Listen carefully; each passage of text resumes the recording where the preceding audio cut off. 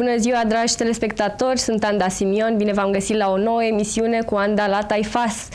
Începem weekendul cu uh, șah, după care o să vorbim puțin mai mult uh, despre ursitoare și animație pentru evenimente, după care, în ultima parte, ne întâlnim cu niște băieți care o să ne spună mai, mai multe despre un uh, turneu de volei pe nisip. Uh, începem uh, cu Andreea, Ioana Andreea Cârlig, uh, care este șahistă la CSM Craiova. Salutare, Andreea! Bună, Ana. Bine, bine ai venit la noi. Mulțumesc din... Să știți că Andreea are mari emoții. Mi-a spus de la început că are foarte mari emoții și că ar prefera să joace 100 de partide de șah decât să, să fie aici cu noi, dar o să vadă că, că o să ne înțelegem foarte bine. Uh, spuneai că ai 17 ani, da? Da, într-adevăr. Și înveți la unul dintre cele mai bune licee din Craiova, la liceul Carol. De cât timp uh, practici șahul? Uh, la vârsta de 8 ani am uh, avut primul contact cu șahul atunci când uh, tatăl meu ne-a dus pe mine și pe fratele meu la clubul LPS Petrache Trișcu și de atunci a început totul. Aveam 8 ani, cum am, am mai spus. La început nu mi-a plăcut șahul, nici nu știam să mut piesele, dar pe parcurs, văzând atâția copii care practică șahul și văzând că le place, am încercat și eu. Și fratele tău este mai mic sau mai mare decât tine? Uh, este mai mic cu 2 ani. Wow, deci el avea 6. De la 6 ani practică și el șahul. Da. Uh, dar cum s-a întâmplat să vă duc acolo? Este și o pasiune a tatălui vostru? Nu neapărat, el știa să joace șah, însă uh, atunci finul nostru practica acest sport și s-a gândit probabil că este bine să ne ducă și pe noi, având în vedere că șahul dezvoltă multe abilități. Uh, pentru un băiat este ușor, uh, adică mi se pare normal, uh, că am văzut tot timpul turnee cu băieți la șah, dar nu prea știu cum este cu latura asta feminină, cum e cu fetele care joacă șah. Sunt multe fete care, care practică sportul ăsta, că mulți îl consideră sport, alții nu îl consideră sport, nici nu știu cum să-l încadrăm. Da, păi din păcate sunt uh, mult mai puține fete decât uh, băieți care joacă șah. Acum, la ultima finală pe țară, am fost în jur de 12 la fete sub 18 ani, iar la prima mea finală erau peste 60 când am jucat la fete, fete 10 ani. La băieți mereu sunt mult mai mulți participanți. Știu de la fratele meu că erau peste 150 la vârstele mici, dar pe măsură ce creștem, uh, devin din ce în ce mai puține fete. Ce fel de abilități dezvoltă? Că spune că dezvoltă șahul foarte multe abilități. Cum crezi că te-ai dezvoltat tu practicându-l? În primul rând, dezvoltă inteligența, sunt sigură de asta. În al doilea rând, șahul uh, presupune foarte multe lucruri. De exemplu, uh, în timpul partidei de șah trebuie să fii capabil să-ți elaborezi un plan și să continui planul ăla, chiar dacă, să zicem, nu este cel mai bun, trebuie să-l duci până la capăt. Trebuie să știi să faci, uh, să... Să, să îți compui practic o strategie, nu? Dacă da. spui că trebuie să duci până la capăt și ce se întâmplă dacă concurentul, uh, adversarul tău îți dă peste cap uh, planurile, adică nu ți iese, mergi până la capăt cu strategia respectivă? Da, încerci să faci asta.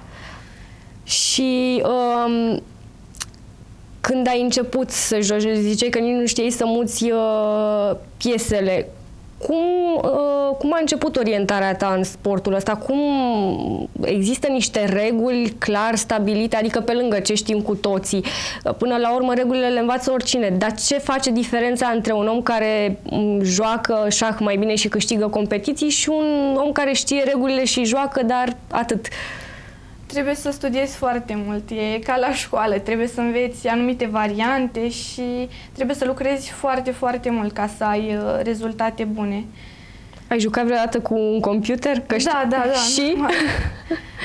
câteodată câștig, câteodată pierd. Este mult mai greu să joci cu, cu computerul. E mult mai, mai bun. Bine, poți să setezi un anumit nivel și uh-huh. să... Mhm. Um, deci de la um, 8 ani joci, uh, iar acum uh, la Timișoara, ea spune ce s-a întâmplat. Am ieșit uh, pe locul 2 la o categorie ELO sub 1800. Felicitări! Mulțumesc! Uh, fratele tău cum se descurcă? Fratele meu s-a lăsat de șah. De ce? S-a apucat de fotbal. A, e de înțeles. Băieții tot cu fotbalul până la urmă. Uh, și totuși tu ai mers mai departe, deși spuneai că la început chiar nu, nu ți-a plăcut. Acum ai descoperit uh, probabil o parte din secretele lui și uh, tocmai descoperindu-le ți-ai dat seama că de fapt este uh, foarte captivant uh, un astfel de joc. Uh, eu știu că atunci când eram mică, tot așa încercau uh, tatăl și fratele meu să mă învețe șah și foarte mult timp nu am reușit să joc pentru că mi se părea foarte plictisitor. După aceea mi-am mai schimbat părerea, dar oricum joc destul de, de rar. Uh, cum împaci practicarea unui uh, un, un sport atât de solicitant, pentru că până la urmă, ok, alte sporturi solicită mușchii, dar cred că e mai solicitant uh, la nivel mental. Cum împaci asta cu școala? Mă descurc destul de bine, mai ales că profesorii au fost destul de înțelegători și m-au ajutat să...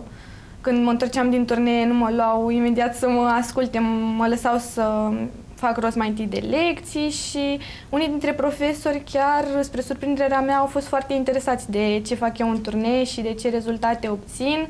Uh, de exemplu, profesorul meu de istorie, domnul Băluțoiu, în fiecare an de ziua liceului organizează un simultan de șah la care particip, participă mai mulți uh, elevi din uh, școală și mi se pare foarte drăguț din partea lui că face acest lucru. Um, ce părere au uh, colegii tăi despre, despre asta? Cum, cum li se pare ca o fată să joace șah?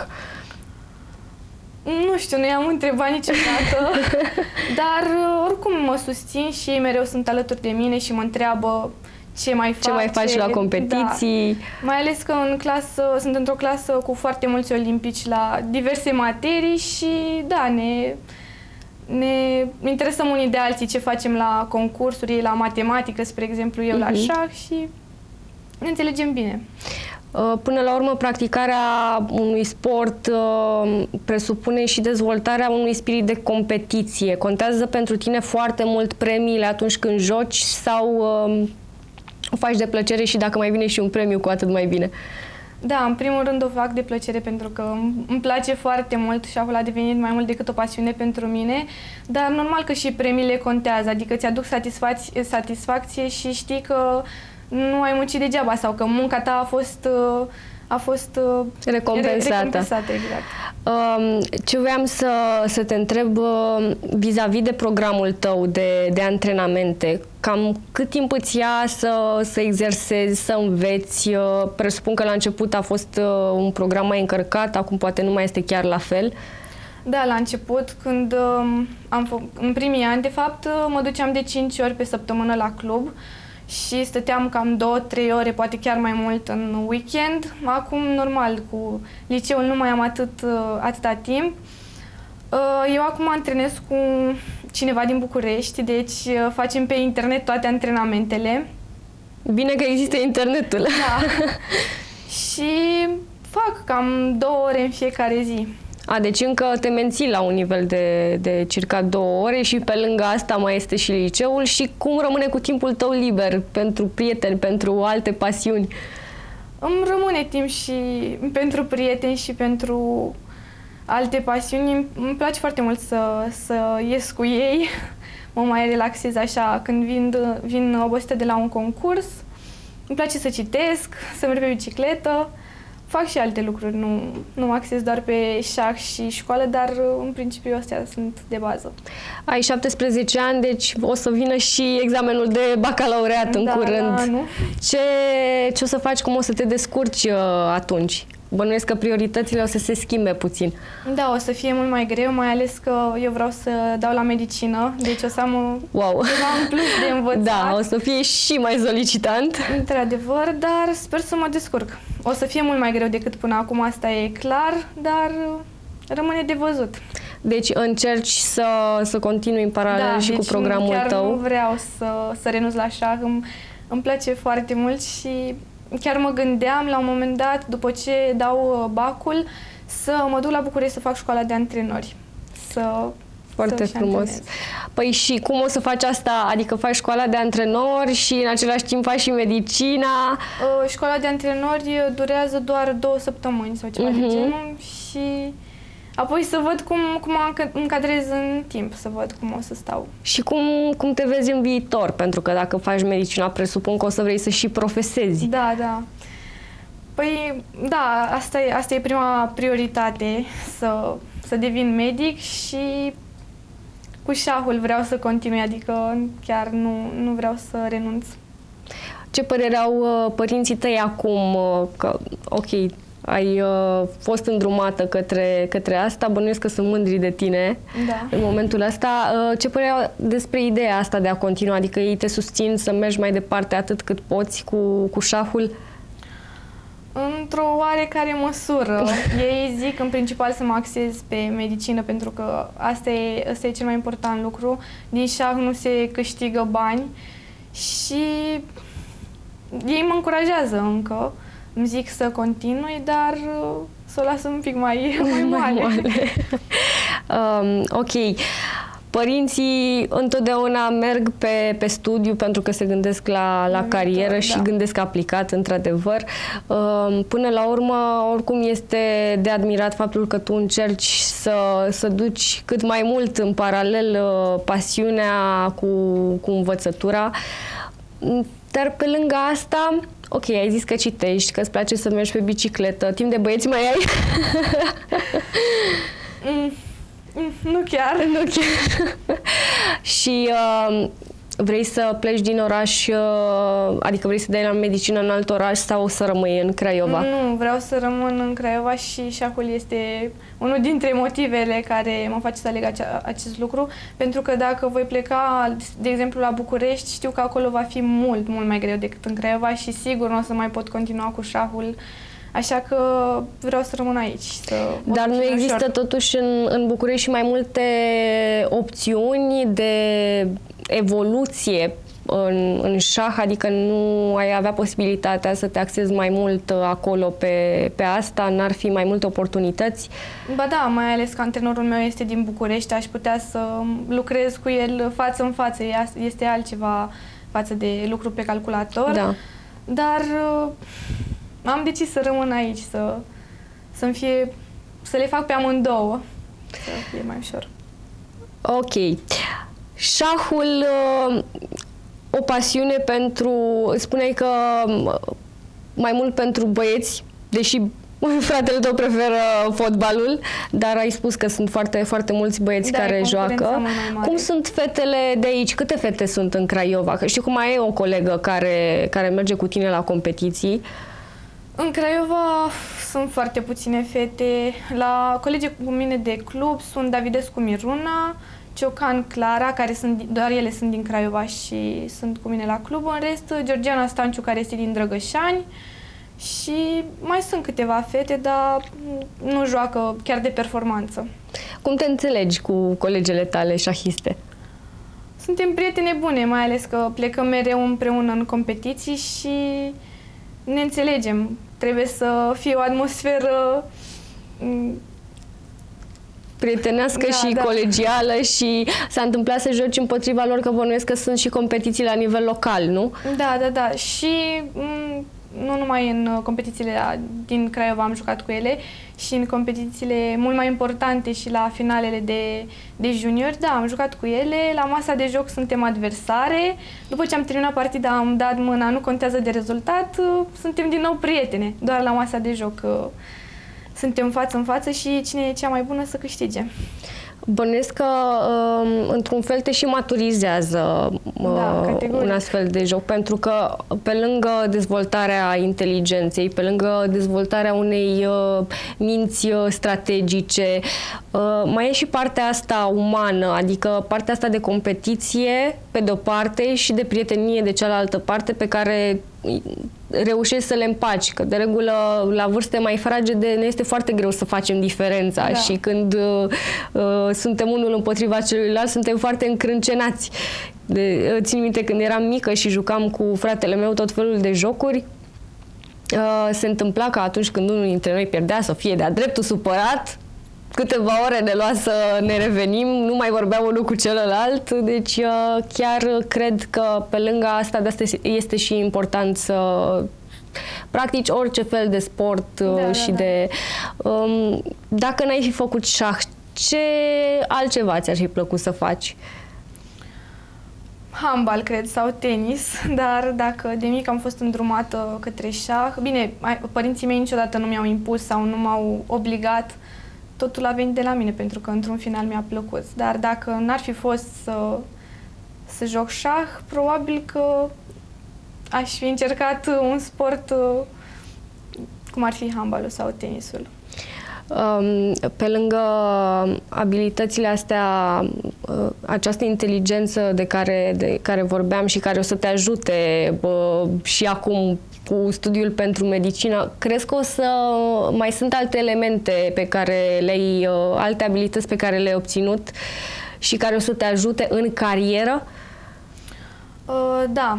De exemplu, șahul m-a ajutat cum să iau decizii eficiente într-un timp foarte scurt, pentru că șahul uh, se joacă cu ceas și astfel ai un timp de gândire uh, în care trebuie să te încadrezi. Deci uh, am învățat oarecum să fac uh, față situațiilor uh, contratimp, ca să zic așa, și în examene sunt sigură că o să mă descurc foarte bine, pentru că la fel ești presat de timp și fiind obișnuită, jucând atâtea par- sute de partide, mii de partide, sub uh, presiunea timpului, cred că o să fac uh, față mai bine.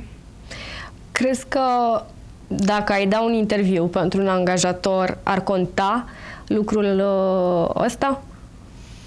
Mm, nu știu ce să zic, am auzit că contează orice faci în afara școlii și în afara studiilor, este bine, este binevenită orice activitate de orice fel și bănuiesc că chiar contează. Tu acum la ce profil ești la, la liceu? Mate info. Ești la Mate Info și dai la medicină. Da.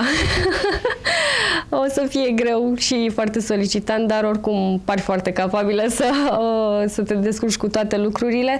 Urmează în viitorul apropiat alte competiții? Da, chiar peste câteva zile o să plec la un turneu la mare pentru că mă pregătesc, Ah, ce frumos! mă pregătesc uh, să joc uh, europenele din Georgia, se țin în Batumi și trebuie să... De asta am jucat cât mai multe turnee vara asta ca să mă pregătesc pentru, pentru europenele de acolo, să vin cu un rezultat cât mai bun, sper eu. Îți ținem pumnii. Ai mai participat până acum la turnee internaționale?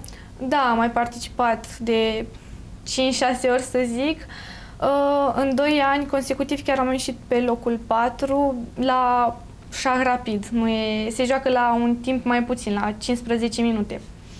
15 minute Da. tot jocul? Uh, nu, 15 minute de jucător, deci o partidă durează maxim 30 de minute. Ah, ce interesant. Uite, mai aflu și eu câte ceva despre jocul de șah, pentru că de obicei când te uiți la televizor nu prea te prinzi dacă nu cunoști foarte bine din uh, culise cum funcționează. Și în ce locuri ai mai fost? Că până la urmă, ok, uh, joci șah, uh, câștigi uh, premii, dar trebuie să te și bucuri de locurile în care mergi. Ai timp să vizitezi când te duci în alt oraș, să cunoști uh, oameni, loc, locuri, să vezi muzee, să... În principiu aș avea timp. Uh, Noi jucăm uh, o partidă pe zi care durează maxim 7 ore, deci maxim, maxim. Și avem 7 sau 9 partide, depinde de turneu. Ține o săptămână toată competiția. Și cum am mai spus, o partidă pe zi, îți rămâne timp să mai vizitezi, dar bineînțeles că trebuie să te și pregătești înainte de rundă și e cam greu uneori să, să te și pregătești, să te mai și plimbi, dar da, am avut, când am fost în străinătate, am avut timp să, să vizitez. Ce loc ți-a plăcut cel mai mult din cele pe care le-ai văzut? Mm, în Italia am fost uh, într-o peșteră, nu știu, cea mai mare din Europa sau ceva de genul, uh-huh. mi-a plăcut foarte mult. Și în Serbia am vizitat o grădină botanică foarte, grădină zoologică, pardon, foarte frumoasă și am fost și în Croația, în Muntenegru, în uh, Bulgaria, că e aici aproape. Cam astea au fost uh, locurile. Cum ți s-au părut uh, adversarii din alte țări? Ai reușit să îți dai seama dacă sunt uh, diferențe în felul de joc, în mentalitate, în atitudine? Mm, da, sunt diferențe destul de mari, pentru că în străinătate, în străinătate șahul e mult mai bine susținut și se pune ma- mult mai mult accent pe, pe el decât uh, la noi în țară. Uh, Uh, am înțeles uh, că Ministrul Educației vrea să introducă de anul ăsta, sau mă rog, anii, în anii care urmează da, să introducă da. șahul în școli și mi se pare un lucru foarte bun. Uh, de exemplu, în Rusia există și facultate de șah, nu numai, wow. se face numai în școală și normal că sunt mult mai bine pregătiți. E o diferență destul de mare, dar încercăm să facem față. E, uh, ce îmi spui acum, uh, mi se pare că este așa un light motiv al societății românești, pentru că tot timpul avem parte de um, oameni foarte talentați care câștigă premii la competiții internaționale, lucrând în niște condiții extrem de proaste da. și totuși se reușește cum crezi că se întâmplă asta? Adică ne ambiționează mai mult lipsa de condiții și faptul că alții au și vrem să demonstrăm mai mult sau pur și simplu suntem mai conștiincioși? Probabil că și ăsta e un motiv, că vrem să, să avem și, și noi, deși nu, nu lucrăm în condițiile cele mai bune sau dar probabil că suntem și foarte ambițioși, adică românii încă au reușit să obțină rezultate nu foarte bune, în uh, străinătate, oricum destul de bune, dar uh, prin, mult, prin multă muncă, pentru că, cum am mai spus, uh, nu este nu e atât de încurajat șahul la noi în țară precum e în alte țări și probabil că muncesc mult mai mult ca să, ca să se afirme. E costisitor să, să practici șahul în condițiile în care ar trebui. Vorbim așa despre niște condiții uh, ok. Da, e destul de costisitor, trebuie să-ți plătești în, prin, în principiu antrenorul. Da. Uh, și competițiile pe care, pe care le joci.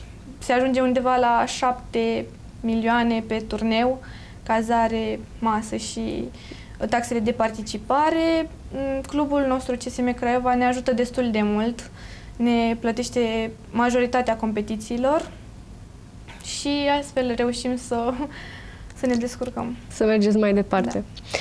Îți doresc mult, mult succes în continuare și la uh, europene și la tot ceea ce urmează și la bacalaureat și la examenul de la, de la medicină. Uh, sper să reușești, dar sunt convinsă că o să reușești pentru că deja ai asta în sânge. Dacă de la 8 ani uh, ți se dezvoltă spiritul de competiție și inteligența în, în felul ăsta aplicat. Uh, Îți mulțumesc că ai fost și astăzi alături de noi și că ne-ai povestit. Vezi că n-a fost așa de rău, a trecut timpul, da. gata. Sper că te-ai mai relaxat acum. Da. Uh, și cred că o să te mai chem dacă o să mai ai curaj să mai vii, dacă să mai trec emoțiile pe viitor. Îți mulțumesc mult de tot. Mulțumesc și pentru invitație. Cu mare drag. Noi luăm acum o scurtă pauză și uh, revenim cu uh, Luciana. Rămâneți cu noi.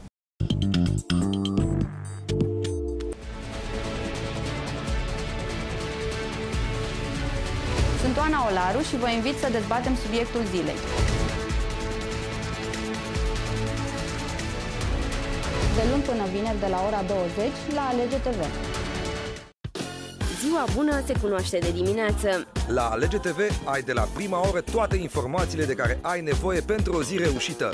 Află primul ceea ce trebuie să știi și fii primul care folosește ceea ce află. De luni până vineri, de la 7.30 la 10, te așteptăm la matinal Alege TV cu Daniela Toma și Cristian Barbu.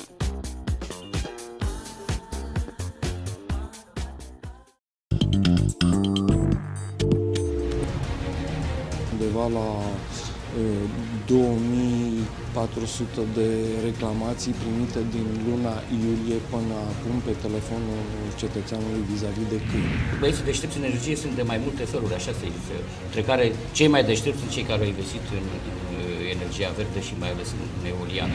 Aducem autoritățile în fața dumneavoastră pentru a răspunde întrebărilor care vă preocupă. Înainte era poluare industrială, Acum nu mai avem poluare industrială și, în schimb, avem poluare auto. Sunt Bogdan Groșeranu și vă aștept de luni până joi la 18.30 la audiență generală. Am revenit și, așa cum vă spuneam înainte de pauză, o am alături de mine pe Luciana Ionescu Avram. Luciana este obișnuită cu camerele față de uh, fetița noastră dinainte, așa că o să fie o discuție mult mai relaxată. Bine ai venit, Luciana! Bine te-am găsit, Anda, și îți mulțumesc frumos pentru invitație. Cu multă, multă plăcere, abia așteptam să ne conversăm. Noi avem foarte multe de discutat de fiecare dată. Uh, Luciana, vreau să vorbim despre pasiunile tale în general, nu doar despre ce știi tu că o să vorbim. în primul rând, Luciana are o trupă foarte frumoasă de ursitoare, a pornit-o ca o trupă de ursitoare, dar uh, acum uh, s-a extins și pe parte de animație pentru evenimente în general, adică uh, pentru nunți, nunți, pentru petreceri de copii, tot felul. Puteți să faceți orice, am înțeles. Uh, dar hai să pornim cu începutul. De ce ai uh, fondat această trupă? Of, dacă ar fi să vorbesc despre pasiunile mele, cred că mi-ar lua vreo două săptămâni în continuu. Avem timp. da, sigur. Um, eu am început să joc în trupe de teatru de amator, ce este drept încă de la vârsta de 14 ani. Eram în mhm. clasa a 9 Ulterior am absolvit cursurile de um, actorie ale Școlii Populare de Artă și Meserii, de aici, din uh, Craiova. Ulterior am um, terminat un an de teatru la departamentul de teatru din cadrul Facultății de Litere tot din Craiova, însă nu am mai um, decis să continu din vari motive pe care nu este cazul să le discutăm uh-huh. acum, însă teatrul a rămas însămânțat uh, în mine. În continuare este o pasiune foarte mare de-a mea, este un lucru care mă face să mă simt bine, uh, să mă regăsesc, să mă simt uh, împlinită. După ce am renunțat să continui cu facultatea de teatru, am observat că au apărut foarte multe uh, trupe de uh, ursitoare sau trupe pentru diverse evenimente, um, pentru nunți, uh, petreceri pentru copii și așa mai departe. În această situație am spus de ce nu, iată să-mi încerc și eu uh, norocul, la urma urmei aveam um, um câteva uh, cursuri, aveam uh, lecții, aveam um, o diplomă pentru că absolvisem școala populară de uh, teatru. Și am spus că ar fi o, uh, un hobby foarte frumos un hobby care pe mine m-ar face să mă simt uh, împlinită și să, mă, să mă regăsesc. Um, sigur că da. Um, trupa a um, luat naștere acum un an, respectiv în anul 2013, deși, așa cum ți-am spus anterior, ideea îmi încolțise în urmă cu aproximativ 2 ani. Uh-huh. Mai lipsea să îmi găsesc și persoanele alături de care să bă, demarez acest uh, proiect. M-am gândit, uh, mi-am uh, făcut o anumită bă, schiță, m-am gândit ce obiective trebuie să-și propună trupa respectivă, am întâlnit persoanele respective, slavă Domnului, și iată că am uh, creat un proiect, spun eu, cât se poate de frumos și de interesant. Uh, spuneai că mm, ai, uh, ți-a încolțit această idee acum vreo 2 ani, dar uh, a fost destul da. de greu să găsești persoanele potrivite. Că am înțeles că totuși e o problemă. Îmi povestei tu că uh, tu preferi conștiinciozitatea și seriozitatea uh, și un gram de talent decât talent cu carul și uh, persoane care nu se țin de treabă. Știi că este lozinca aceea, trebuie să ai 10% talent și 90% uh, muncă sau uh-huh. dorință de a munci. Pentru unii această lozincă poate să pară cât se poate de expirată. Să nu este expirată, este foarte, foarte um, adevărată și asta am testat-o pe propria mea piele, când a, fo- când a fost pusă efectiv în situația de a-mi um, alcătui uh, trupa. Oameni talentați, într într-adevăr găsești pe toate drumurile și în toate domeniile. Noi nu ducem lipsă de talente, mai aici, mai ales aici în Craiova. Craiova a fost uh, din totdeauna plină de talente. Talente pe plan teatral, talente pe plan muzical, uh, talente pe plan um, fotografic uh, și exemplele pot continua. Ei, problema apare în situația în care vine vorba de seriozitate.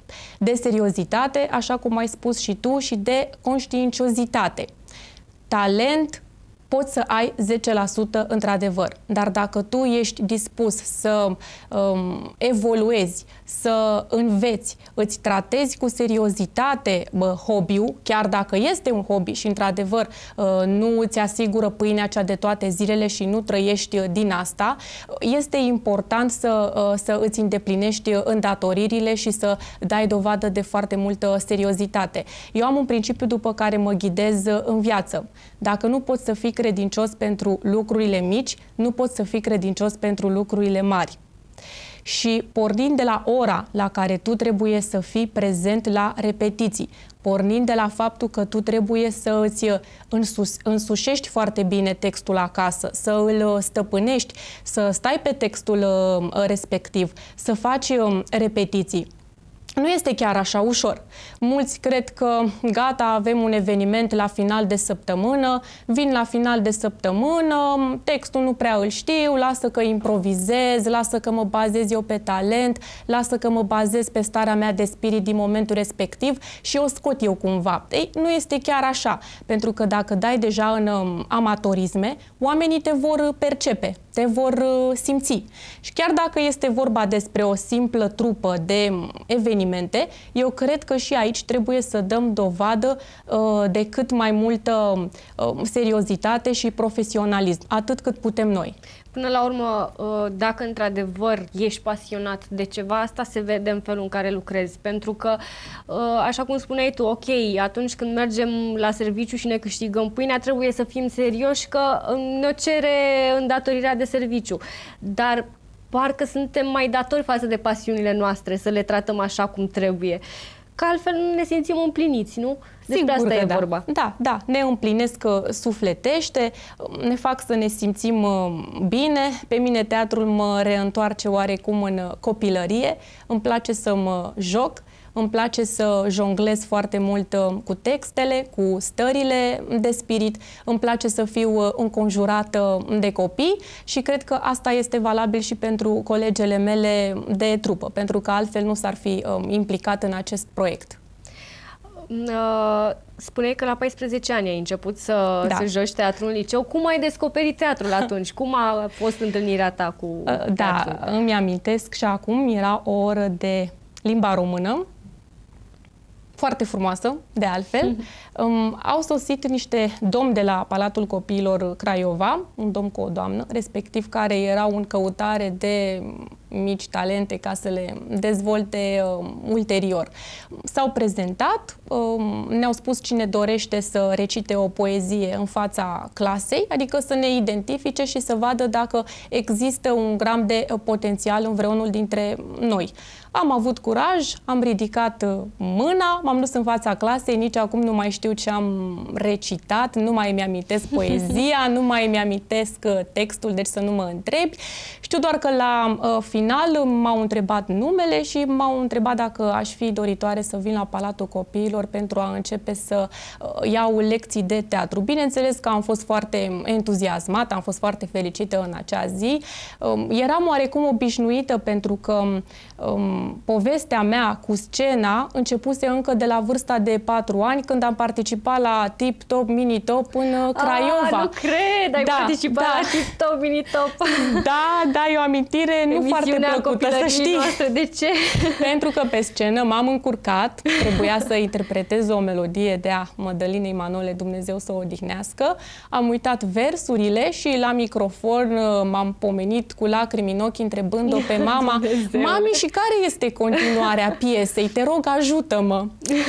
Bineînțeles că am primit mențiune, dar am primit locul întâi pentru cea mai frumos îmbrăcată fetiță. Așa că... Foarte drăguț. Tot m-am ales cu o cred, diplomă. Cred că a rămas o amintire de care acum îți amintești cu drag și chiar cu amuzament. Deși da. atunci cred că, uh, uh, știi, copil fiind, când se întâmplă așa ceva, e o adevărată tragedie. Aoleu, am uitat textul unei poezii, unui cântecel, ce mă fac? Dar uh, uite că e o, un lucru de, uh, uh, care nu știam, uh, chiar uh, mai surprins da, cu participarea da. asta. Și, și mi-e foarte dragă amintirea, drept dovadă, am găsit diploma chiar acum o lună printre uh, lucrurile mele și am pus-o undeva în perete să mă uit de foarte fiecare frumos. dată. Da, dar uh, mă apucasem să îți povestesc uh-huh. cum am luat practic uh, contact cu, uh, cu, scena. cu scena. După care în clasa a patra m-am înscris la cursurile de jurnalism, tot din cadrul Palatului Copiilor Craiova. Am început să particip la diverse concursuri de, poz, de proză, de poezie. Am devenit prezentatoare a spectacolelor Palatului uh, Copiilor. Am câștigat și un loc 3 național pentru interpretare când eram în clasa a șasea a fost o bucurie și o fericire foarte mare pentru, pentru mine. Iar în același timp făceam parte și din corul muzical al școlii mele, unde iar eram prezentatoare.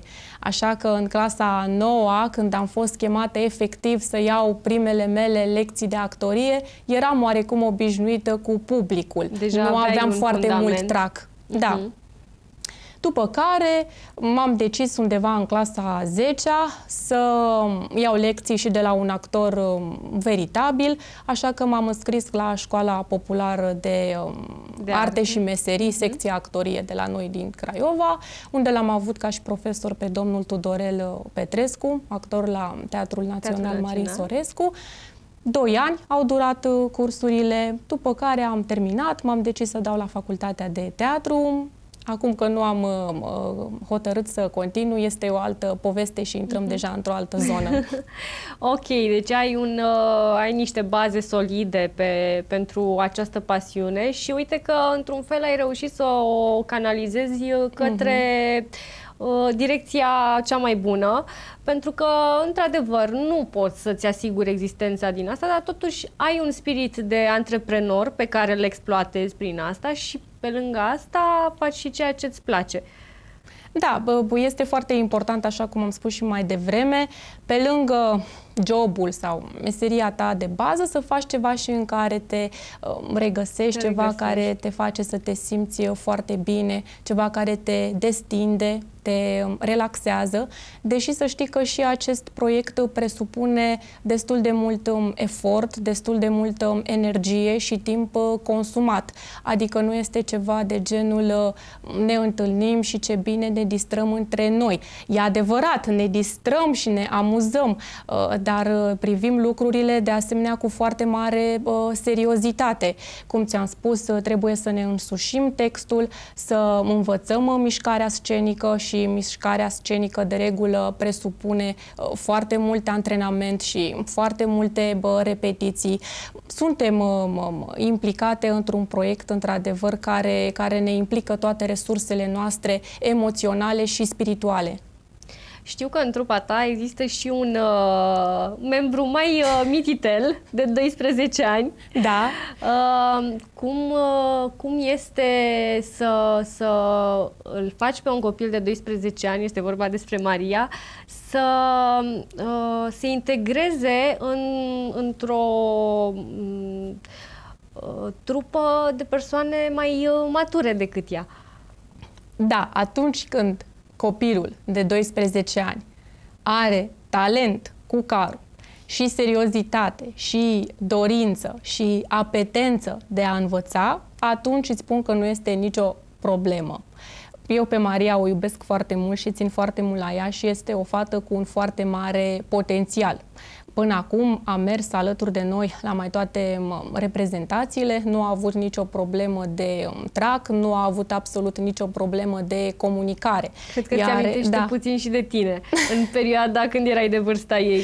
Îmi amintește într-adevăr foarte mult de mine, nu puțin, cu diferența că Maria are chiar o personalitate mai puternică decât o aveam eu. Eu totuși eram o persoană destul de uh, timidă, trebuia să beau cam două pahare de apă înainte înainte de a intra pe scenă și de a apela la trucul acela cu respiratul, să tragi aer adânc în, în piept ca să scapi de emoții. de emoții. Nu, la Maria nu este vorba de așa ceva și ea este o persoană foarte sociabilă și foarte comunicativă, îi face plăcere să se întâlnească cu persoanele din, din uh, trupa noastră, se destinde cu ele, râde, plus că oamenii au o altă percepție atunci când văd un, uh, un copil. Ea este îngeraș, apropo de rolul pe care da. îl interpretează în cadrul pieselor noastre.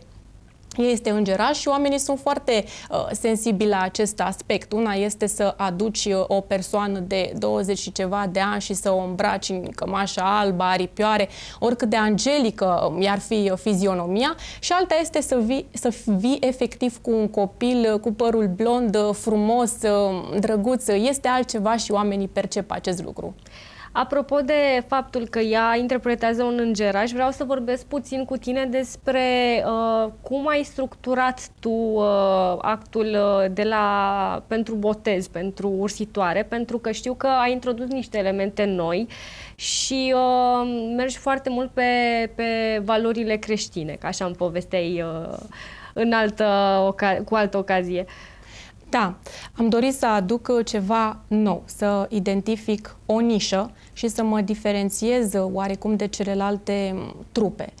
Acum trupele de ursitoare pentru botez au devenit o rutină și oamenii s-au cam obișnuit de același text, de aceleași rochii înfoiate și atunci mi-am dat seama că trebuie să aduc ceva nou. Ca element nou, am scos oarecum vrăjitoarea. Avem vrăjitoare, însă o introducem numai la cerere. Până acum îți mărturisesc sincer că la mai toate botezurile pentru copii, vrăjitoarea nu mi-a fost uh, solicitată. Chiar am primit cereri în mod expres, te rugăm fără vrăjitoare, că o să sperie copiii, o să sperie invitații, mă rog. Nu vreau să analizez care au fost motivele persoanelor care mi-au cerut acest uh, lucru. Am scos vrăjitoarea și atunci am mers pe varianta 3 uh, ursitoare, trei zâne ursitoare și un, uh, și un spiriduș, plus îngerașul care este interpretat de Maria. Textul este compus de mine. La început avem o parte haioasă, amuzantă, ca să le atragem um, atenția, după care începem să uh, vorbim și să promovăm foarte mult uh, valorile creștine. Am dorit să inserez uh, principii sănătoase, să-i ursim copilului despre dragoste, despre prietenie, despre bunătate, despre milostenie, pentru că până la urmă nu trebuie să pierdem din din vedere că noi suntem zânele bune, zânele din poveste, desprinse din bazm, care vin să vorbească despre lucruri frumoase, care nu abordează aspecte licențioase sau uh, vulgare. Așa că noi uh, am spus că suntem exact uh, personajele desprinse dintr-o poveste care vin să ofere un uh, botez de neuitat uh, invitaților și părinților, bineînțeles. Poate și mai târziu copilului când va crește și uh, va uh, revedea, se va uita peste casetele înregistrate de la eveniment este oricum un act, uh, unul dintre cele mai așteptate acte la un, uh, la un botez. Am asistat uh, recent la, la un botez uh, unde existau și câțiva străini care nu cunoșteau acest obicei și erau de-a dreptul încântați. Tot timpul se întrebau, dar ce se întâmplă aici? Ce e asta? Au vrut să facă fotografii, bineînțeles, cu, cu zânele bune. Adică e, e până la urmă inserarea unui act artistic în, într-o uh, aniversare, într-o sărbătorire, într-o celebrare și uh, cred că de aceea este um, foarte important uh, felul în care vedeți voi uh, aceste momente, pentru că nu le vedeți doar ca pe un moment, așa cum spuneai, uh, de rutină, uh, nu vă plafonați, încercați să aduceți niște lucruri noi.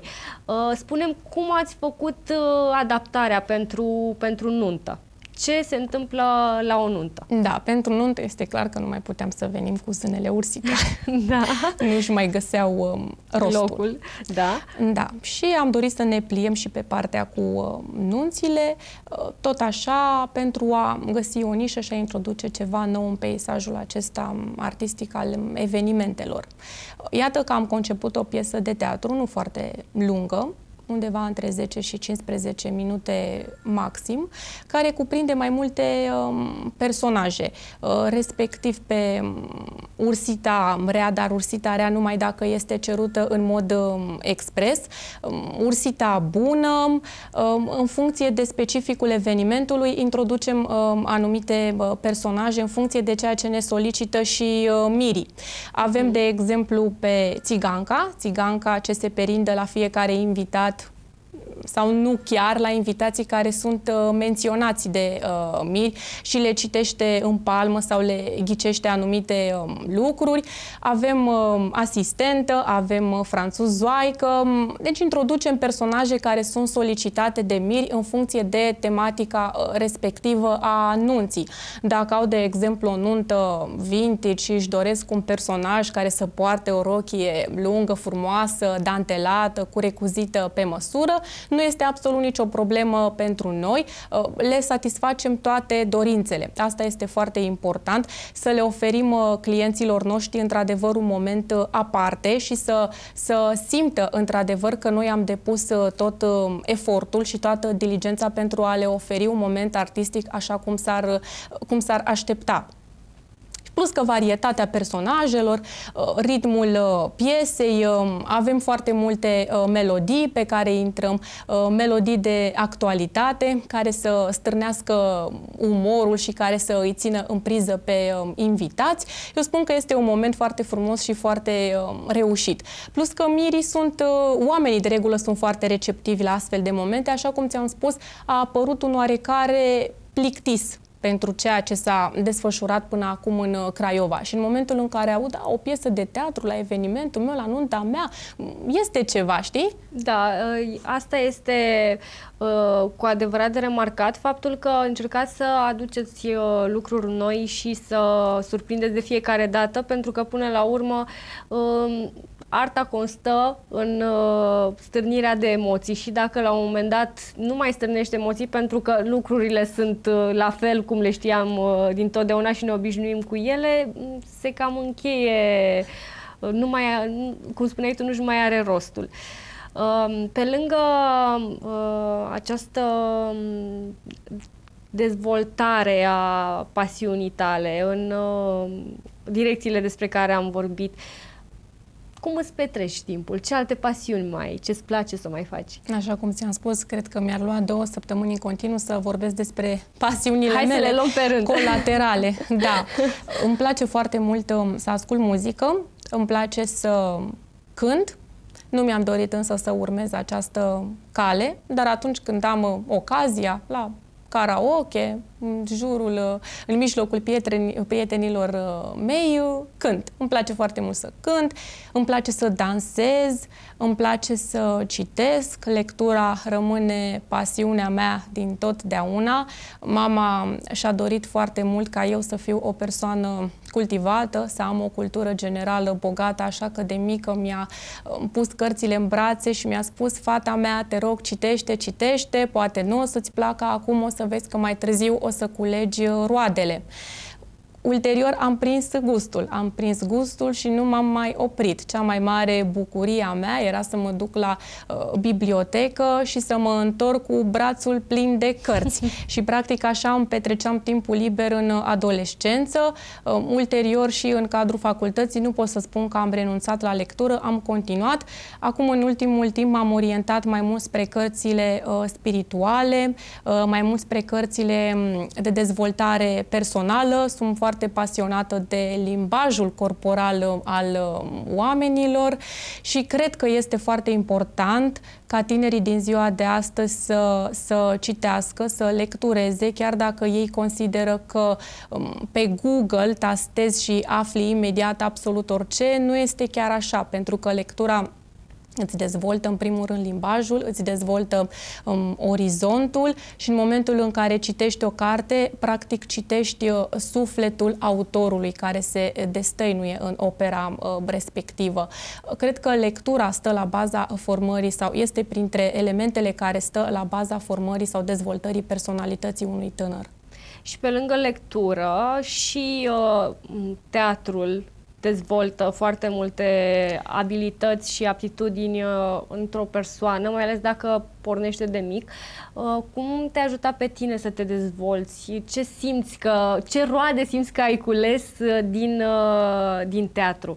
Da, um, teatrul, în primul rând, te ajută să te autocunoști tu pe tine, pentru că trebuie să scormonești foarte mult în interiorul tău, să scoți foarte multe sentimente la iveală. Acum trebuie să fii furios, acum trebuie să fii trist, mm, peste câteva minute trebuie să fii uh, fericit sau melancolic sau nostalgic sau prietenos.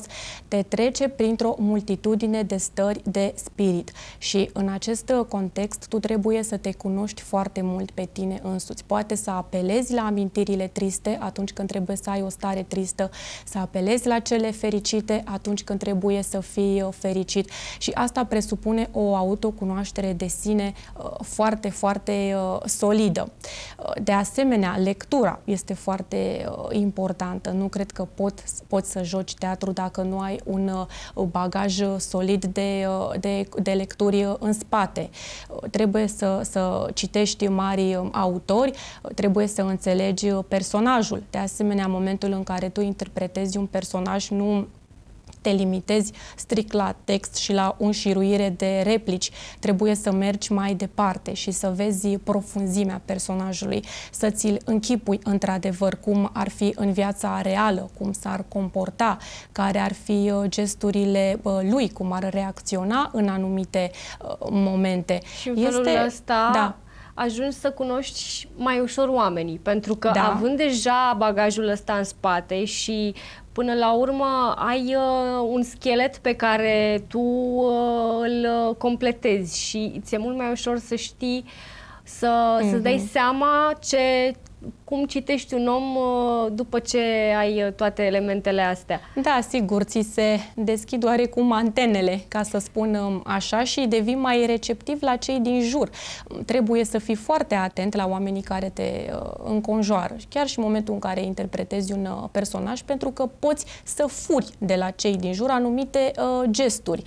De exemplu, eu am de interpretat o asistentă și poate prietena mamei mele fiind asistentă, ne întâlnim, eu mă uit cu foarte mare atenție la ea, văd cum se îmbracă, îi văd care este ținuta, cum reacționează în anumite uh, momente. Sau am de um, interpretat, eu știu, o profesoară. Atunci, bineînțeles că îmi voi canaliza toată atenția către o profesoară de-a mea care îmi place și care doresc să îi împrumut anumite um, elemente care constă tot așa în modul în care se mișcă, modul în care gesticulează, cum vorbește, cum se comportă. Asta, bineînțeles, pentru a obține un personaj um, autentic. Dacă te culci pe o ureche și doar memorezi niște replici, atunci nu te mai numești artist. Eu asta nu mai numesc artă, pentru că orice persoană poate să vină să um, învețe pe din afară o poezie și să o reproducă de la cap la coadă fără nicio uh, problemă. Dar cum rămâne atunci cu uh, transmiterea emoțiilor uh, celor care te ascultă? o întrebare retorică, dar până la urmă cred că i-ai oferit un răspuns în toată da. discuția asta noastră. Uh, e um, o perspectivă așa cum ar trebui să fie și eu sunt pasionată de teatru, eu nu am fost acolo pe scenă, dar uh, analizez uh, minuțios teatrul de foarte mult timp pentru că mi-a plăcut și am și scris cronici și încă mai scriu din când în când, așa că um, îmi place foarte mult să aud din partea unui om care a fost acolo și care interpretează să îmi spună lucrurile pe care voiam să le aud.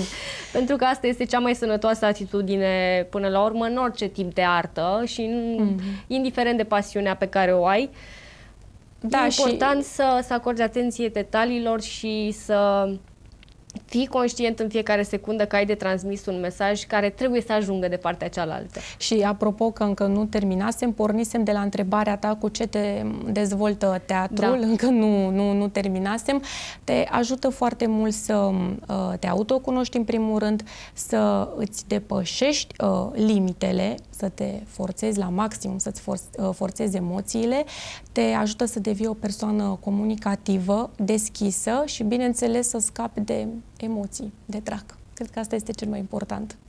Veți trebuia să vorbim și cu uh, șahista noastră dinainte și să-i spunem că poate pe lângă șah, dacă mai are loc puțin și pentru teatru, ar ajuta-o foarte tare.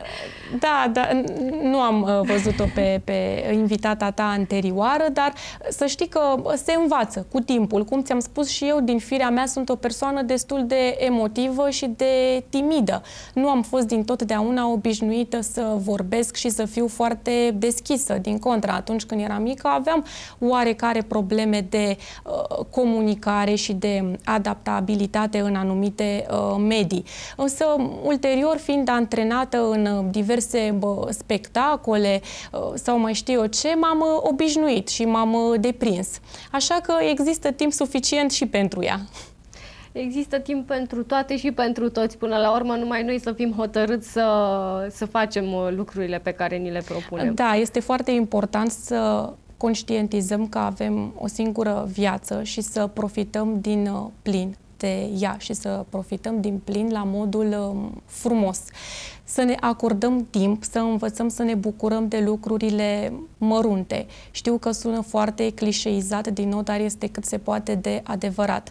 Suntem mult prea, mult prea antrenați în viața aceasta care se desfășoară foarte rapid, în ritmul acesta alert. Alergăm toată ziua după bani, după statut social, după lucruri pe care dacă le dai la o parte, îți dai seama că nu este nimic, este cenușă, este este praf și pulbere și atunci trebuie să ne acordăm timp să ne bucurăm de flori, de mm, excursiile frumoase, să ne bucurăm de familia noastră, să nu lăsăm să treacă o singură zi fără să le spunem celor apropiați cât de mult îi iubim, pentru că nu se știe niciodată dacă a doua zi mai avem uh, prilejul să ne întâlnim cu ei și să ne bucurăm de prezența lor.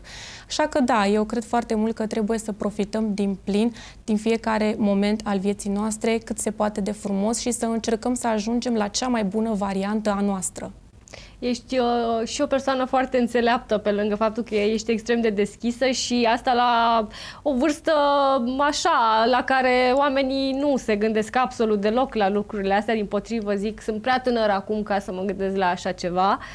Uh, e, e un exemplu de dat uh, celor uh, care acum nu sunt foarte atenți față de ei și se, forșa, se forjează prea mult uh, într-un mod nesănătos. Îți mulțumesc pentru compliment. Uh, cum să-ți spun, eu sunt ca doamna profesoară pentru prietenele mele, ca să spun așa. Acum nu cred că este o postură prea fericită pentru mine, câteodată mă gândesc că mai sunt și momente când ajung să fiu uh, obositoare. Mă rog, asta nu înseamnă că nu știu să mă distrez și să mă bucur și de alte uh, lucruri. Dar mă preocupă foarte mult aspectul acesta al um, existenței noastre, de unde unde suntem noi, ce se întâmplă cu noi și cred că este un aspect important care ar trebui să ne preocupe pe fiecare dintre noi uh, în parte. Luciana, teatru, uh, lectură, înțelepciune multă, uh, atenție față de oameni, Cred că mm, ești așa, un, uh, un glob foarte colorat, așa te-aș descrie. Sper să am culori frumoase. Foarte frumoase și uh, foarte vesele, că oricum spuneai de flori și de faptul că trebuie să ne bucurăm de lucrurile cele da. mai frumoase, eu așa văd viața ca fiind uh, plină de culoare da. și fiecare lucru are culoarea lui acolo pe care trebuie să, să o distingem dintre celelalte. E o plăcere să, să discut cu tine. Îți mulțumesc frumos, de asemenea îți întorc complimentul. Mulțumesc, uh, mulțumesc și eu.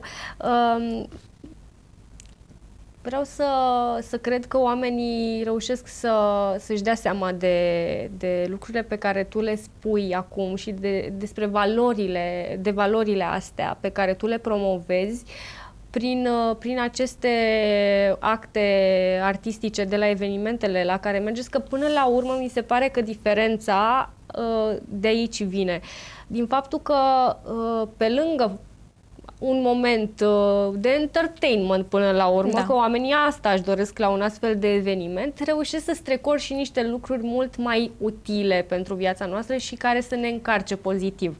Da, am încercat să strecor lucruri mai profunde. Adică, dincolo de un simplu text care are menirea de a amuza pe invitați, să încerc să inserez și aceste lucruri de maximă profunzime.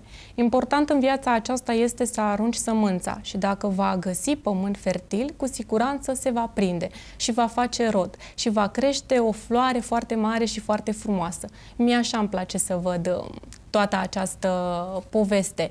Sigur, poate există persoane și nu con, uh, contestă acest lucru, cărora uh, le place un alt fel de divertisment care să meargă până la uh, folosirea unor expresii mai abjecte sau mai tupeiste, ca să mă exprim așa. Nu este și cazul nostru. Cred că avem propriul nostru segment, avem proprii noștri clienți cărora ne adresăm.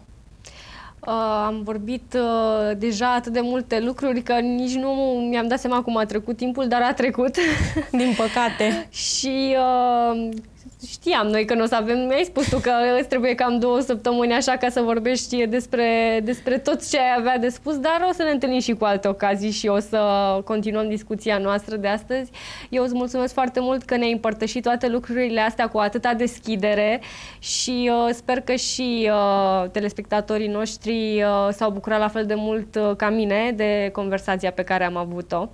Îți mulțumesc frumos pentru invitație și aștept următoarea revedere cu foarte mare drag. Până atunci îți doresc să ai emisiuni cât se poate de frumoase și de reușite. Îți mulțumesc tare mult, Luciana.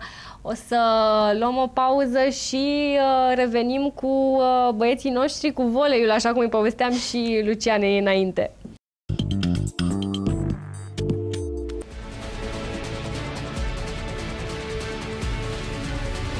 Sunt Oana Olaru și vă invit să dezbatem subiectul zilei.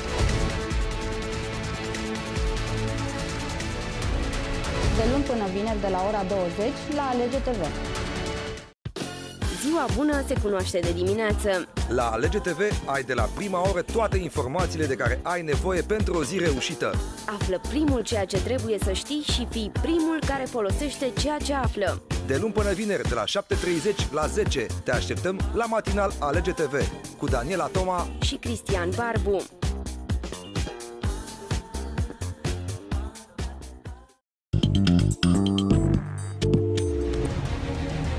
Undeva la 2400 de reclamații primite din luna iulie până acum pe telefonul cetățeanului vis-a-vis de câini. Băieții deștepți în energie sunt de mai multe feluri, așa se zice.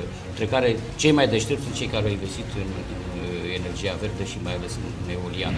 Aducem autoritățile în fața dumneavoastră pentru a răspunde întrebărilor care vă preocupă. Înainte era poluare industrială, Acum nu mai avem poluare industrială și, în schimb, avem poluare auto. Sunt Bogdan Groșeranu și vă aștept de luni până joi la 18.30 la audiență generală. Am revenit în platou, uh, iar în această ultimă parte îi avem uh, alături de noi pe Rareș Cojocaru și pe Bogdan Hurezeanu de la Rotaract Club Craiova. Uh, bine v-am găsit! Bine ați venit! Bine, Ziceți voi, bine v-am găsit! uh, le spuneam deja telespectatorilor noștri că o să vorbim despre uh, volei cu voi. O să vă rog să-mi povestiți mai multe despre campania pe care o desfășurați în perioada imediat următoare, după care o să vorbim mai multe și despre ce ați mai făcut până acum și ce urmează. Haideți să începem cu voleiul. Uh, voleiul are o poveste frumoasă. Uh, pentru cine nu știe ce este Rotaract, noi suntem un ONG internațional și ne ocupăm de foarte multe proiecte pe plan local, național, dar și internațional, bineînțeles. Uh, proiectul nostru recent va fi volei, va fi o cupă de volei pe nisip. Uh, e la a doua ediție anul acesta. Uh, vrem să, în puține cuvinte, vrem să reabilităm o grădiniță. Asta ar fi scopul nostru uh, final. Ideea este că la eveniment vrem să strângem toate sau o mare parte din companiile locale, naționale. Uh-huh. Am primit chiar o confirmare a unei participări a unei, echip, a unei echipe um, a unei firme internaționale și multe instituții publice, dar și um, sportivi din Craiova amatori, să se strângă la un loc, să joace volei, promovăm uh, sportul, uh, caritatea, dar și sănătatea și împreună să se cunoască. Mm, e un foarte bun team building, să zic așa, pentru companii, iar la final noi să putem din uh, donații și sponsorizări să remodernizăm acea grădiniță despre ce grădiniță este vorba ca să afle mai multe și uh, Este vorba de numărul 35 din Șimnic. Uh-huh. Și de ce ați ales tocmai această grădiniță? Uh, aici pot să răspund eu. Uh, în principiu, noi ne-am orientat către zona mai rurală sau apropiată de zona uh-huh. asta, uh, tocmai pentru că eforturile sunt mai rare acolo, ca să zic. Și, până la urmă, condițiile sunt uh, direct afectate de chestia asta. Uh, am avut mai multe grădinițe din păcate. candidate, da, asta e.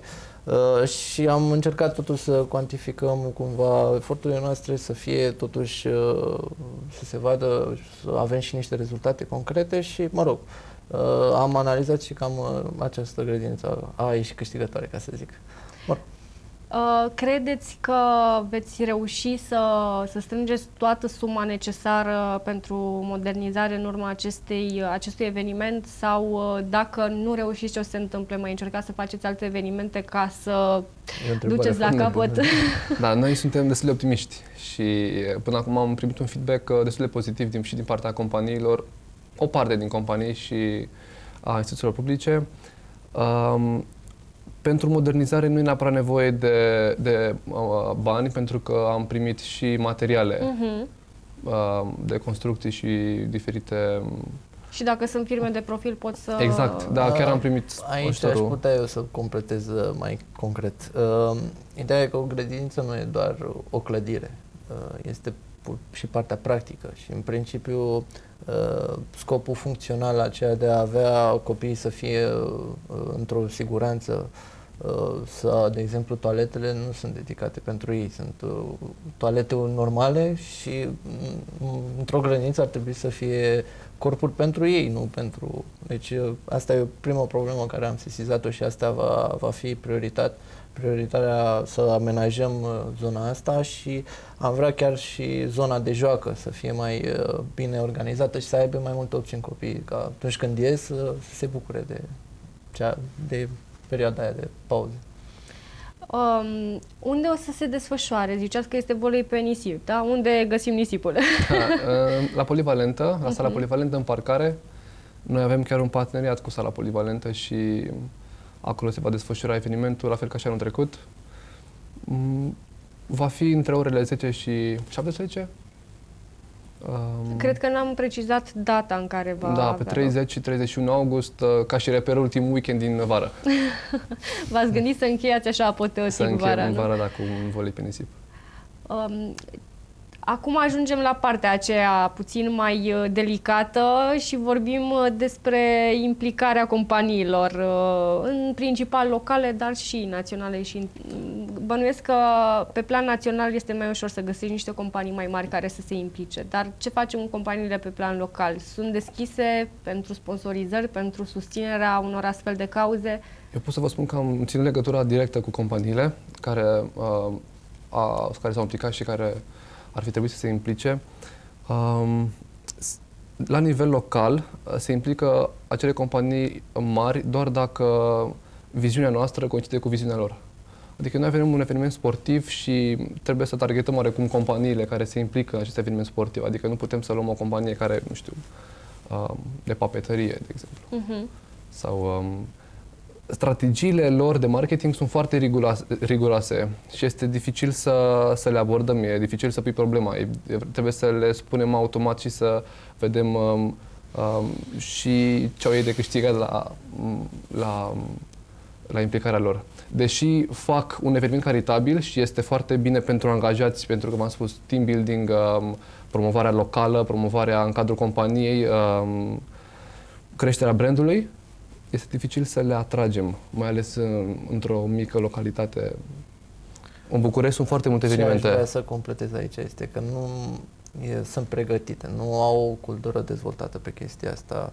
Multe ONG-uri nu au reușit să le explice sau nu au reușit să ajungă la o parte din companiile astea și nu sunt obișnuite cu astfel de concept.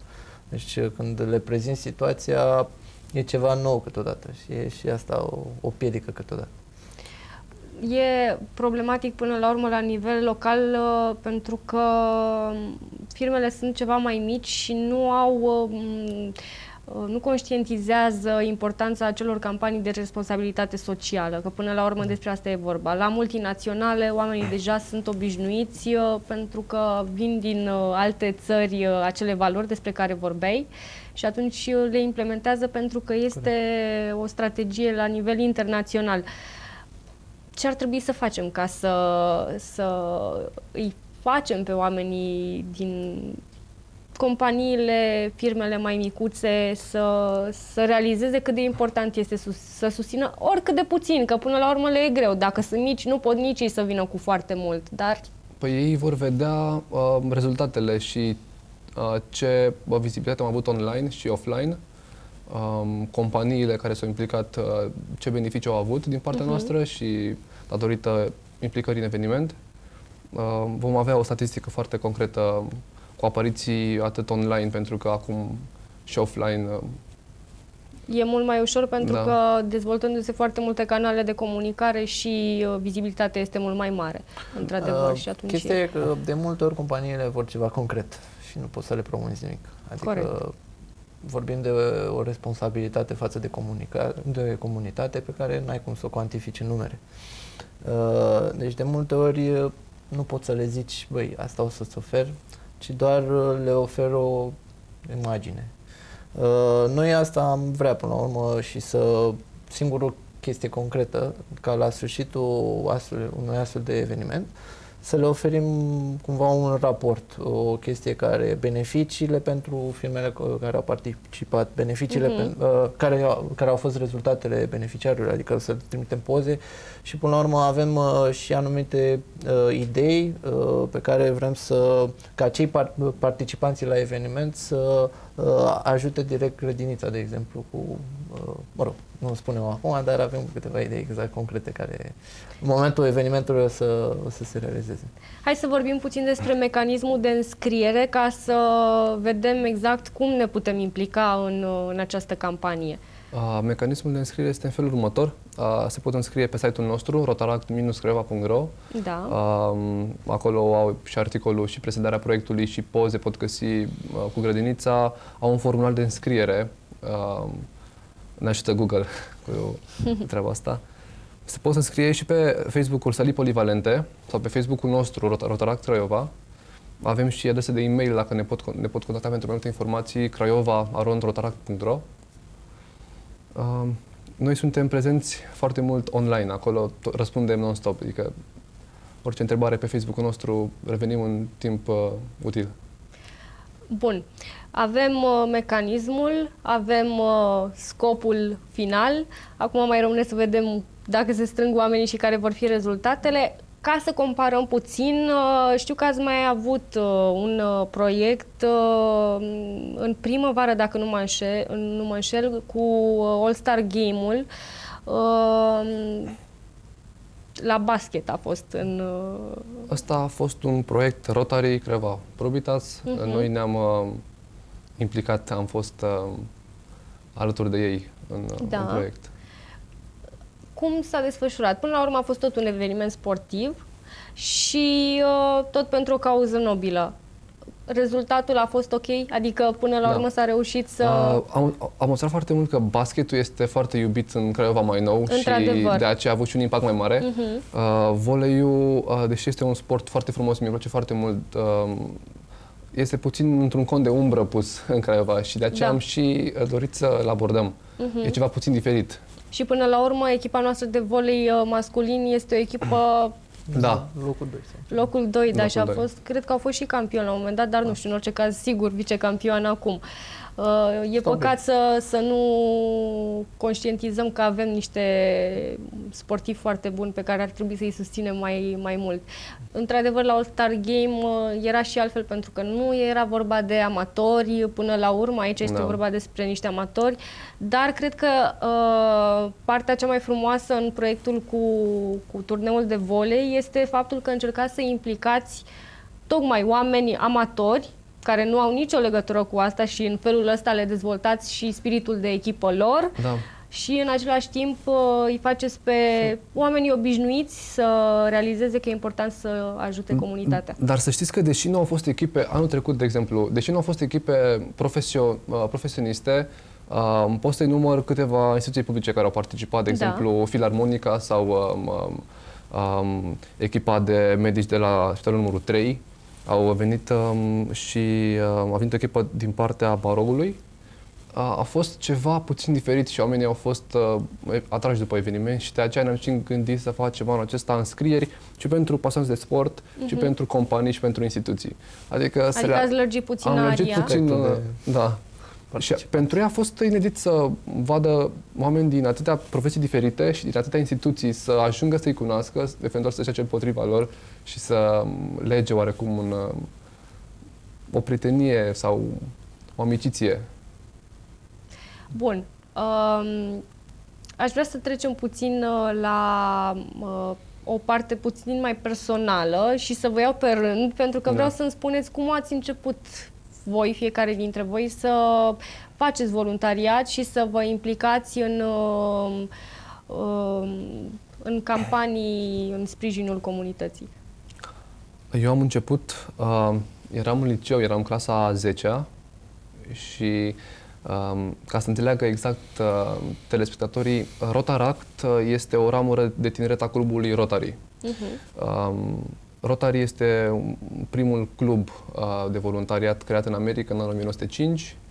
Um, ideea lui a pornit, um, ideea a pornit de la a strânge elite din fiecare domeniu uh, și a-i pune la un loc împreună să ajute uh, uh, comunitatea să facă o lume mai bună. Uh, Ca o scurtă paranteză, unul dintre cele mai mari proiecte Rotary Internațional este um, End Polio, uh, un proiect de stopare a poliomelitei, uh, o boală foarte, foarte gravă ce atacă sistemul neuronal. Um, Țările afectate sunt India, Pakistan, chiar am reușit să stopăm foarte, foarte mult uh, proiectul.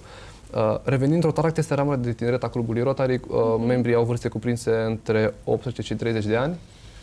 Uh, Iar eu, când, când eram în clasa a 10 aveam 16 ani și am intrat la Interact, cea mai mică ramură de juniori, să zic așa. Am înțeles. Deci um, eu am vrut uh, de mult să mă implic în proiecte um, pentru că tot timpul e bine să-ți lărgești puțin aria de, de interes, de activitate și să ajuți, um, să ajuți oamenii. Pe site-ul nostru, o idee, acum mi-am amintit, um, președintele nostru, Cătălina, anul trecut a, a avut o idee foarte bună și pe site-ul nostru fiecare membru a scris o propoziție uh, prin care definește ce înseamnă Rotaract pentru ele. Uh, și eu am scris, încerc să citez, uh, Rotaract reprezintă posibilitatea de, mă, de a mă redescoperi pe mine însumi prin a ajuta pe ceilalți. Cam asta am scris eu atunci, acum un an jumate. Cam asta ar fi. Și acum, dat fiind faptul că ne-ai spus asta, înseamnă că ai rămas cu acea senzație și în acest Da. uh, Da. an care a trecut peste tine. Da. Bogdan, tu? Uh, da, eu o să fiu mai sumar. Uh, Rareșel, uh, ca o paranteză, este președintele Da, uh, este președintele ONG-ului. Rotaract, da. Deci el e coordonatorul evenimentului totodată. Uh, Eu cred că am patru ani uh, în cadrul ONG-ului. Uh, Întâmplarea a fost să, să intru în acest uh, ONG. Uh, Mi-amintesc că uh, am fost cooptat de un prieten care mi-a explicat în linii mari despre ce e vorba și, desigur, eu eram uh, deschis la chestia asta. Uh, nu prea am, adică, nu, sincer, nici nu știam că există chesti- acest club uh, prezent în Craiova. Știam așa mare de el, dar uh, nu știam exact uh, ce presupune ca înscrieri. Uh, aici, mă rog, uh, pe site sunt uh, deschise și o parte din evenimente, a, uh, ce am făcut noi, cum am făcut, poze de la locații, de exemplu. Uh, și totul a început prin a participa mă rog, ca membru uh, vizitator, să zic, uh, la eveniment, la, la două evenimente știu că am participat ca vizitator. Uh, unul dintre ele a fost Crash Test, acum patru ani, când, uh, mă rog, uh, eram, uh, am vrut să mărim uh, cumva importanța folosirii centurii de către uh, șoferi. Șoferi. Uh, Un și atunci proiect am, foarte interesant. Da, uh, totodată am vrea să reedităm, că a trecut ceva timp și unii am Cred mai că ar uitat. fi cazul, da. Uh, și atunci a început uh, distracția pentru mine, ca să zic, și ușor, ușor uh, s-au, au trecut ceva ani, am mai uh, acumulat ceva proiecte.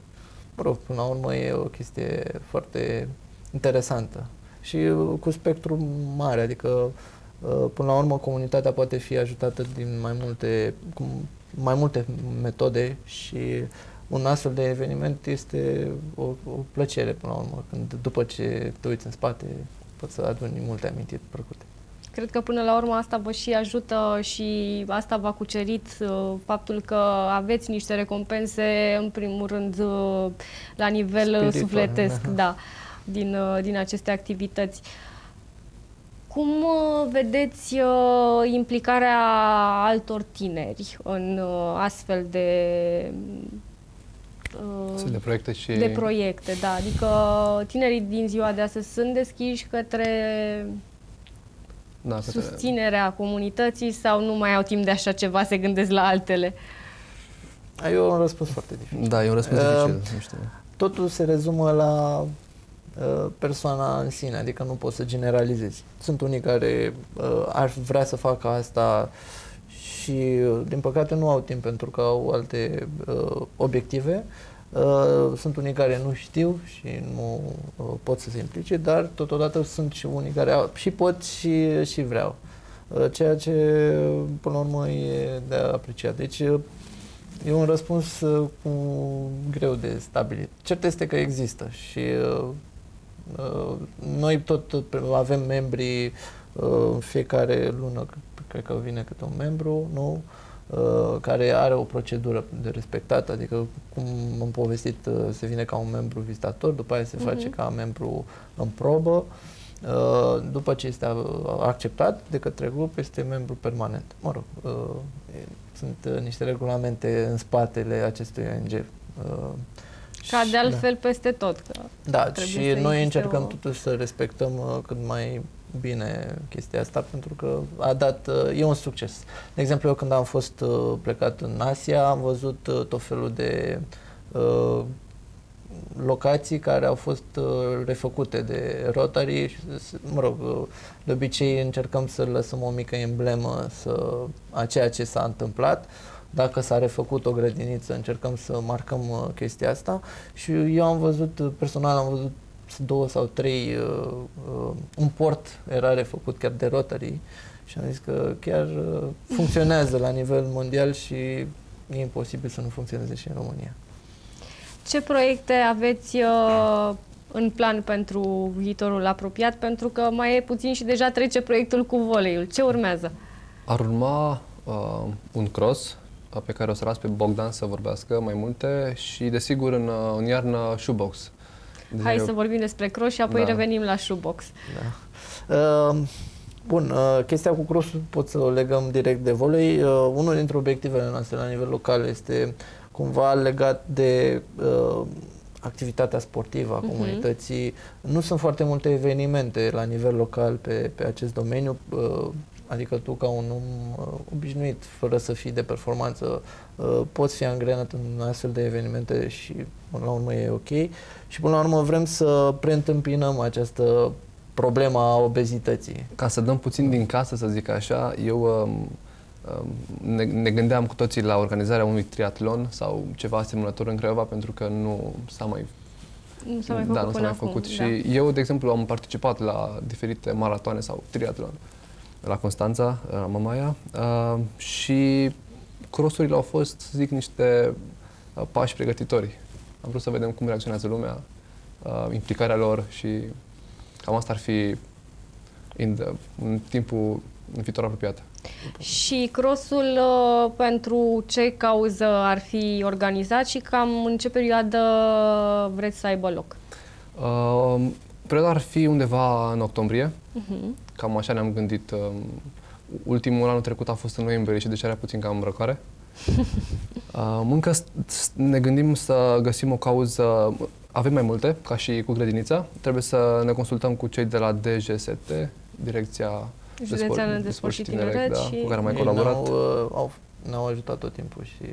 Da. Ne, adică tot timpul, dacă vrem să, implic, să realizăm un eveniment de genul ăsta, sunt Aveți primii sprijinul care lor. ne ajută pe treaba asta. Și încă suntem uh, in- indeciși, să zic așa. Mhm.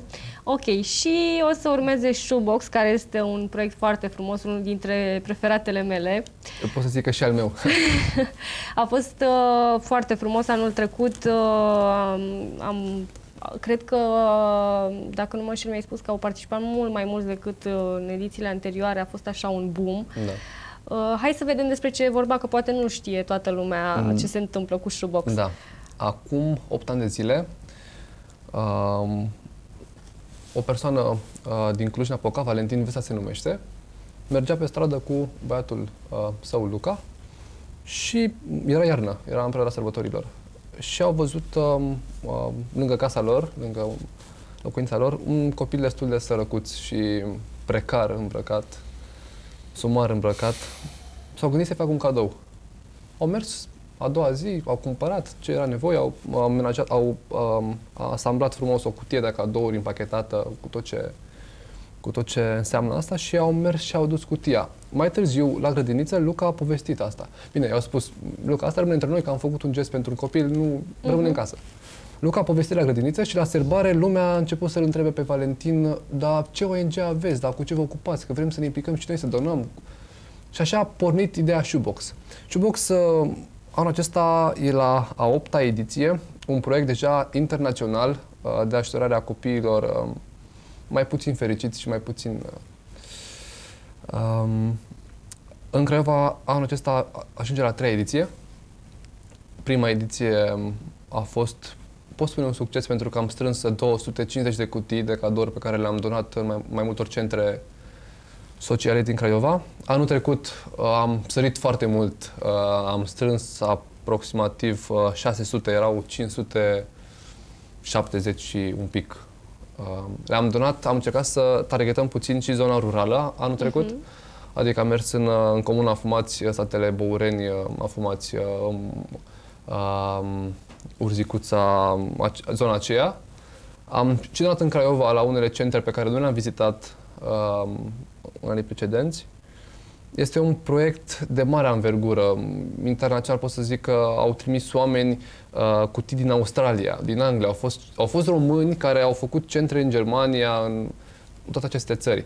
Și până la urmă nu e numai un, nu, nu e numai un proiect de a dona ceva, de donație. E până la urmă o experiență personală pentru că așa cum Valentin Vesa împreună cu Luca și familia au făcut acel cadou și i-au explicat, uite, noi avem, putem să dăm și la alți copii care poate nu, i-au explicat exact uh, acest proces. Pentru el a fost o experiență de viață, pentru copii, pentru părinți, este o experiență personală foarte puternică și te bucură foarte mult. Mai ales că noi am fost foarte transparenți și pe Facebook, pe site-ul nostru am pus poze cu cutiile, unde s-a putut, unde au ajuns, la, la, ce, la ce locații, la ce copii. Și le-am trimis apoi pozele. Și chiar anul trecut a venit cineva care în prima ediție a spus da, da, am venit pentru că am văzut unde a ajuns cutia mea. Adică, Da, pentru că există reticența Da, asta e oamenilor, reticența mai ales asta. la lucrurile noi. Uh, românul e așa mai sceptic și nu știe dacă într-adevăr ajunge unde trebuie uh, lucrul pe care el îl, îl oferă. Uh, să vorbim puțin și despre nume. De ce shoebox? De ce se numește shoebox? Um, shoebox, um, practic, noi avem foarte multe cutii acasă. De pantofi. De, pan- de pantofi. uh, Mă rog, da, de pantofi. de aici a venit de aici, de aici a pornit uh, ideea, numele da. cu... Uh, și toate sunt, cel puțin la mine, într-un timp erau toate puse într-un loc, aruncate, mă rog, în, um, într-un loc pe, pe balcon și erau useless, erau fără niciun rost stăteau acolo. Și hai să le găsim totuși. Acum nu mai are deloc. da, acum nu mai am deloc. Au Da. dispărut, trebuie să mai strici câteva pentru că se apropie decembrie și Da. ce faci Noi, noi atunci? mai făceam glumițe cu oamenii care chiar ne întrebau anul trecut, "A- trebuie să fie musai de pantofi cutia și a spus, nu, dacă vreți să faci un cadou mare, poți să vii cu cutia de la ceva congelator sau frigider și vii. Da, asta ca o notă de glumă. Dar um, ideea porni că shoebox, cutia de pantofi. Într-o cutie de, acea banală cutie de pantofi, că e o Se banalitate poate până la urmă, transforma în ceva o absolut... putem transforma în uh, ceva super O... E un simbol până la urmă. E un Da. simbol. Și site-ul este shoebox.ro, um, pe Google oricum shoebox, o grămadă de articole și, Și sigur oricum se pe găsește Facebook-ul ușor. vostru este un album Sunt cu albume, shoebox. sunt multe Da. poze, sunt... Um, Chiar uh, invit pe telespectatorii noștri să, să se uite la albumele acelea. Pe mine m-a impresionat când vedeam cum se adunau, puneați pe fiecare zi câte cutii Da. erau acolo în camera aceea și apoi uh, cum ați umplut uh, mașinile și ați Da. plecat către uh, localitățile. în Dar care trebuie să ați menționez că anul trecut uh, nu am fost singurii care s-au ocupat de shoebox, Mhm. uh, am fost primii din Crăva care s-au ocupat acum 2 ani. Anul trecut uh, au mai fost două centre De colectare, de colectare. Uh, Andra Dumitru este o persoană care s-a ocupat de, de la o firmă de soft Mhm. um, și încă o agenție de turism.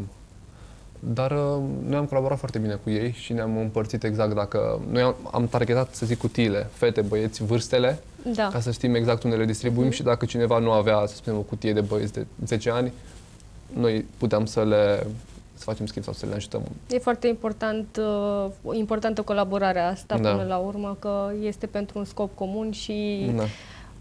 Ne interesează scopul comun și Da, da. nu, până Desigur. la urmă nu este o competiție aici. Da. Uh, Sper să meargă bine și anul ăsta și Ne să se sperăm. strângă și Da. mai multe. Da. Uh, oricum am văzut că tot mai multe companii au fost implicate și m, pe lângă Am- uh, da, să știți oamenii că- obișnuiți uh, s-a purtat așa o um, campanie și la nivelul firmelor. Da, dacă nu se implică firmele cu numele, adică să, să se implice oficial în eveniment, um, oamenii angajații uh, se, foarte bine se mobilizează în interior. Chiar am primit telefoane de la companii farmaceutice, de la um, companii mai mari de telecomunicații. și Am mers foarte bine. Și am strâns foarte multe, uh, nu mă așteptam anul trecut să ajungem la 600, de la 250. Pot să spun că anul trecut cu un coleg, Daniel, am, în seara de Crăciun, în ajun, am fost la o, deci nu terminasem. Am fost la o familie exact atunci. Copiii erau la brad. A fost ceva inedit, să zic.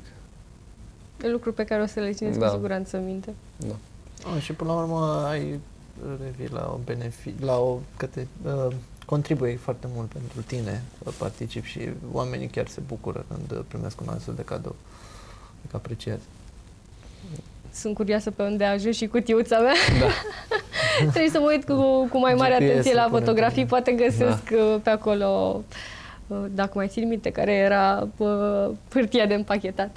Vă mulțumesc mult de tot că, Și că noi ați fost mulțumim, alături de îți mine mulțumim. astăzi. Uh, Baftă la turneul de volei, baftă și la celelalte evenimente. Suntem alături de voi și vă sprijinim ori de câte ori Mulțumim. este, este nevoie. Uh, Cam asta a fost uh, emisiunea de astăzi. Sper că v-ați simțit uh, bine alături de noi și că v-au plăcut uh, invitații mei de astăzi. Ne revedem săptămâna viitoare. Pa, pa!